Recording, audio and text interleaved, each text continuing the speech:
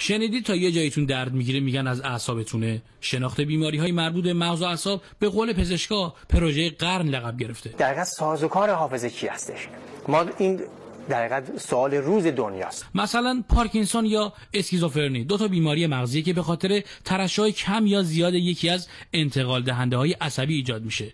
تنها راه درمان هم ردیابی این انتقال دهنده های عصبی موقع آزاد شدن تو مغزه. کاری که اینجا در پژوهشکده نانو بیوتکنولوژی دانشگاه صنعتی بابل انجام شده. موفق شدیم برای اولین بار در جهان و کشور نانو ذراتی رو سنتز بکنیم با لیگاند ویژه کاربرد در حوزه مغز و اعصاب داشته باشن. نانو ذرات کوانتومی تحولی در درمان بیماری های مغز و اعصاب محصولی با قابلیت اتصال به مولکول انتقال دهنده عصبی هدف. از فناوری نانو استفاده بکنیم که بتونیم در محل تشکیل حافظه ها اون ذراتی که در حقیقت عامل حافظه هستند عامل انتقال اطلاعات مغز و اعصاب هستند رو شناسایی بکنیم بتونیم اونها رو دنبال بکنیم عکس بگیریم تصویر برداری بکنیم و به طور واضح ببینیم. تا قبل از این متخصصان با روش های غیر مستقیم و غیر دقیق انتقال دهنده عصبی رو ردیابی می‌کردن و مشخص نبود ماده شیمیایی آیا به جریان خون برمیگرده یا نه؟ این نانوذرات نیمه رسانا علاوه بر خاصیت فلورسنتی و درخشندگی بسیار زیادی که دارن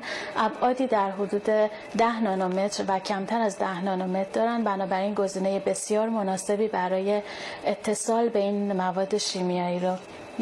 هستن. با استفاده از این نانوذرات که میان رفتارهای در واقع این حوزه ها رو برای ما شفاف می‌کنن می‌تونیم در واقع داروهای متناسب با اون در واقع بیماری خاص رو فرمولاسیونش رو به دست بیاریم و در نهایت در یک دوره در واقع منطقی بالانی در نهایت این رو تجاری سازی بکنیم و ورودش بدیم به بازار. تلاش این محققان جوان دو ساله به ثمر نشسته. ایران جز هفت کشور برتر دنیا در بخش فناوری نانوست که این مسئله حاصل تلاش های 25 هزار متخصص نانو در بخش های مختلف علمی کشوره.